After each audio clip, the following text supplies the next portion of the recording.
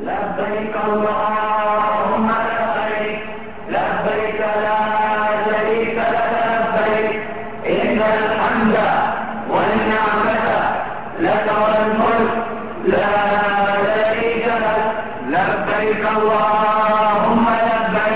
المشاهدين السلام عليكم ورحمة الله وبركاته. وأسعد الله أوقاتكم بكل خير. وأهلا وسهلا بكم في حلقة جديدة من برنامجكم مع المعتمرين الذي من خلاله يرصد آراء وانطباعات الزائرين والقادمين لبيت الله الحرام في مكة المكرمة. وبالتحديد في شهر رمضان المبارك. فأهلا وسهلا بكم. لبيك اللهم لبيك لبيك لا اللقاء بكم أعزائي المشاهدين ومع زوار بيت الله الحرام في مكة المكرمة. أهلا وسهلا بكم. أهلا ومرحبا. سلام عليكم. أهلاً ومرحبا.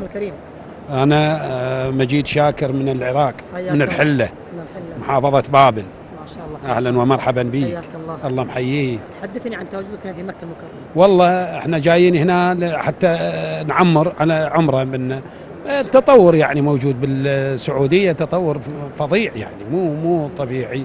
ويعني إمكانيات أكو ودولة آمنة ودولة يعني فأكو يعني يعني نشوف أنا تقريبا هاي السنة الخامسة أجي على التوالي يعني. فأشوف يعني سنة عن سنة أشوف أكو تطور بال بالحرم بالأعمار بكل شيء. والله يعني أكو التزام يعني أكو التزام ديني وأكو شغلات ويعني أنا ما أشوف إنه أكو سلبيات. يعني أكو أكثر شيء ايجابيات اللي موجودة يعني اللي آه، من كل الموجودين. ما ما نقدر يعني نقول أكو سلبي في موضوع. أنا بس شغلة واحدة يعني صارت معايا الب- البارحة إنه أحد الاخوان المعتمرين معانا عراقي ضاع يعني راح تاه. فبقينا نفتر ندور عليه أكثر من 30 ساعة يعني ياهل نروح لما ي- أيوه روح أيوه لأول مرة أنت تزور ولا زرت قبل كذا؟ ها؟ لأول مرة تزور مكة ولا زرت قبل كذا؟ لا قلت لك خمس سنوات صار لي هي خمس سنوات سنة أجي سنوياً؟ كل سنة سنويا ما شاء الله إي كل سنة سنويا أجي البيت الله بعد وجهك هو العمر إيش بيه بعد طيب كيف إيش بيه عمر طيب كيف رمضان في بغداد وفي العراق؟ بالعراق يعني رمضان عندنا الآن زين يعني الناس ملتزمة وهذا بس الحالة هم تأثر عليه الحالة الأمنية والحالة الكذا و- يعني والمعيشة ويعني أكو أكو سلبيات هوايه عندنا برنامجك رمضان أنت إيش يكون؟ والله يعني هو الصيام وقراءة القرآن والبقاء. مع العائلة وتوفير ملتزمات ال- ال- الصوم للعائلة يعني أنت لازم أنه توفر أنت كأب يعني كأب عائلة وكأب عائلة أنت المفروض بك أن توفر لهم اللهم لبيك لبيك لا شريك لك لبيك. إن الحمد والنعمة لك والملك لا شريك لك. إحنا بالنسبة لنا من العراق لهنا تأخذون من عندنا 11 ونص ورقة يعني 1150 آه، دولار.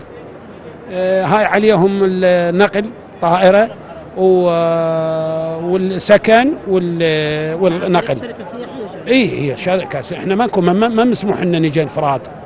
أفراد ما مسموح للعراقيين إن يجوا ولا مسموح لنا إن نجيب سياراتنا. يعني سياراتنا ما مسموح لنا نجي إحنا عن طريق ال- ال- الجو. يعني مع الشركات. شوف لك يعني شركة رصينة وشركة تعبانة وشركة يعني طيب شعورك وأنت جاي بالطائرة إلى إلى مكة المكرمة إيش إيه. إحنا بالنسبة لنا العراقيين أكثر إذا ما نجي على الخطوط الجوية العراقية على الخطوط الجوية ال- ال- ال- الدول الأخرى لازم نروح ترانسيت. يعني مثلا إذا نجي على فلاي دبي أو نجي على العربية أو نجي على غيرها من هذا أو على السورية أو على الأردنية لازم ننزل لبلدهم. يعني أنا العام مثلا جاي رحت لدبي بقيت أكثر من 23 ساعة أنا بمطار دبي ترانسيت. يعني تدمرنا تأذينا. والله إيش إنه فلاي دبي رخيصة يعني أقل من غيرها من يعني أقل من غيرها من الخطوط الجوية. بس هي شنو؟ يعني تأذي المسافر يعني ما بيها فد هذا. يعني أنا هسه أجي للحملدار أو المع... الإنسان المسؤول عن هاي الشركة إذا يقول لي فلاي دبي ما أجي وياه بعد. أحكي لك إياها أنا ساعة الهواء بجوز. تريد تريد تقصها تريد ما تقصها أنا أحكي لك إياها. لا الحقيقة يعني هاي. إنه فلاي دبي شركة تعبانة بالنسبة لنا إحنا ذول. يعني أنا من أروح لي طاير من العراق إلى دبي باقي لي أربع خمس ساعات بالجو. أنزل بدبي أبقى لي 23 ساعة وأرجع أركب من دبي أجي ثلاث ساعات إلى جدة. يعني أنا العام يومين يومين بالضبط من أقول لك يومين يعني أنا مسؤول عن كلامي 48 ساعة. أنا يلا وصلت لل يلا وصلت للمدينة المنورة.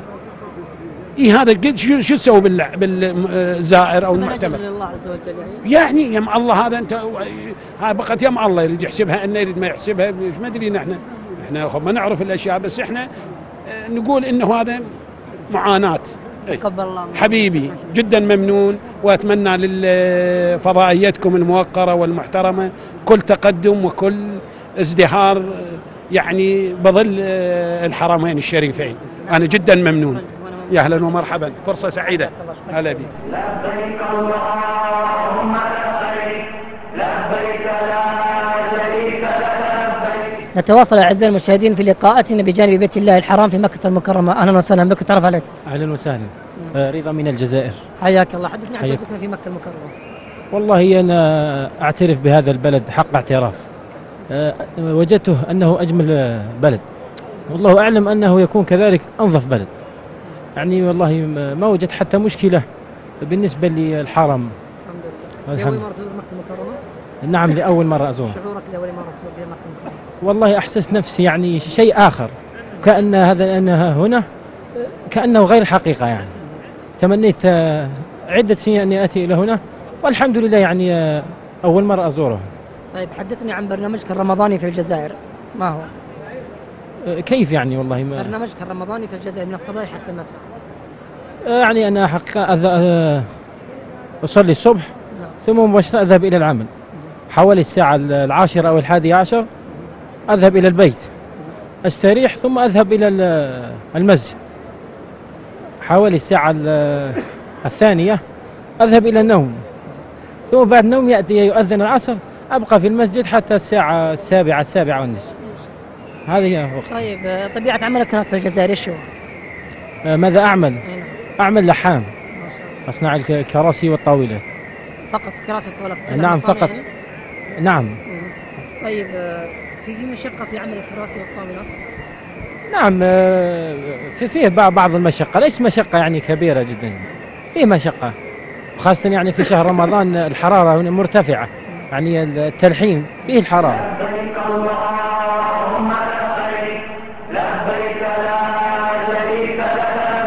نتواصل أعزائي المشاهدين في لقاءاتنا بجانب بيت الله الحرام في مكة المكرمة. أهلا وسهلا بك أخوي. السلام عليكم. عليكم السلام ورحمة الله وبركاته. تعرف عليك. تعرف آه، أحمد من الجزائر. حياك الله. حدثني عن تجربتك هنا في مكة المكرمة. الزيارة أول مرة ون- ونشكر آه، نشكر ال- ال- ال- الخادم الحرمين على الشريفين على هذا على هذا ال- العمل. والشكر لله ثم الشكر إليكم إن شاء الله. بما أن الزيارة الأولى كيف شايف؟ كيف شعورك يعني؟ وشعور يكون سير من الخرج كاع منها فرح كثير فرح كثير. ما جانيش النوم و- ولازم آه، العبادة ثم العبادة. ما نتقربوا إلى الله تعالى بالعبادة. هنا في مكة المكرمة؟ اليوم عندي أربع أيام.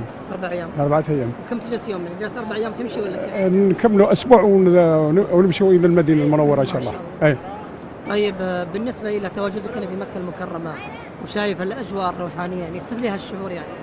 والله نشكر آه، في الماء موجود الماء موجود الأكل موجود آه، السلالم موجود كل شيء متوفر.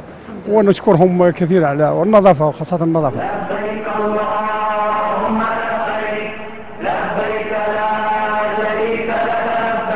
يتجدد اللقاء بكم أعزائي المشاهدين ومع زائري بيت الله الحرام في مكة المكرمة. أهلا وسهلا بك.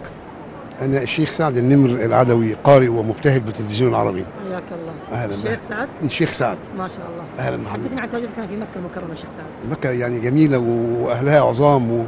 ويعني آه، يعني استقبال جميل يعني. ما شاء الله. استقبال جميل. طيب بالنسبة بما أنك زرت مكة يعني أيوه. كيف شايف الأجواء الروحانية في مكة؟ الأسواق؟ الأجواء الروحانية. الأجواء يعني لا هو الحمد لله يعتبر يعتبر معتدل يعني. الحمد لله. يعني لا حر ولا برد. يعني طيب لأول مرة تزور مكة؟ لا ده المرة ال 26 27 ما شاء الله. آه يعني من سنة 81 ما شاء الله. باجي ال- العمرة حتى سنة تلاتة- 2003 وتوقفت لأن كنت بجوز أولادي وكده. فمن السنة اللي فاتت السنة اللي فاتت 2014 عملت عمرة وحجيت حج 14 14 والعمرة دي. الحمد لله. طيب من أي منطقة في مصر أنتم؟ أنا في القاهرة في حتة اسمها ال- الوراق طيب ممكن تحدثني عن أجواء رمضان في القاهرة؟ كيف؟ لا أجواء رمضان لا مش موجودة في أي بلد. حقيقي لأن أنا سافرت أكثر سافرت أكثر من بلد. ما بلاقيش أجواء من رمضان فيها. عندنا أحياء ال- ال- الليالي القرآن الكريم والابتلاءات الدينيه وكده يعني. والنفسي بيتكلم عن نفس رمضان في له مو- موسم جميل يعني. يعني إيش يسوون في مصر في رمضان بشكل عام؟ احتفالات دينية دائما في كل بيت. وعندنا وزارة الثقافة بتعمل حفلات في الب... ووزارة الأوقاف بتعمل حفلات. الأوقاف, الأوقاف بتعمل حفلات في المساجد. والثقافه الجماهيرية بتعمل في سرادقات في الميادين العامة وبيوت الثقافة. ومنتشرة يعني. ربنا يسهل. تقبل الله منا ومنك إن شاء الله. تقبل يعني. شكرا شكرا جزيلا. السلام عليكم.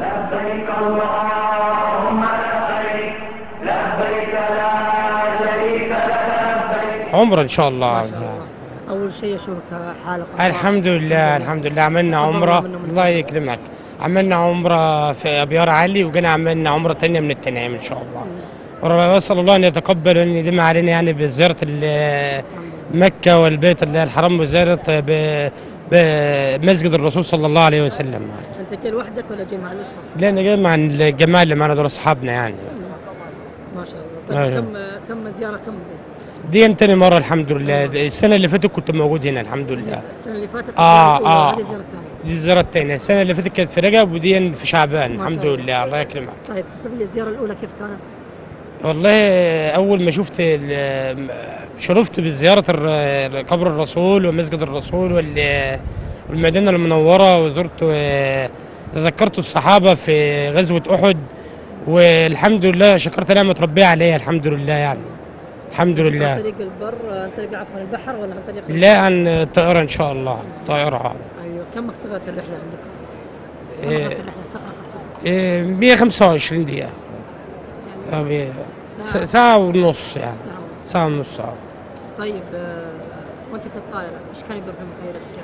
لا الحمد لله نعمة والله تفكر في مكة بفكر طبعا في زيارة بيت الرسول وزيارة ال- المسجد ال- المسجد ال- الحرام و- واسأل الله أن ي- أن ي- يلم علينا آه، مكة و- وربنا يتقبل مننا جميعا يا رب.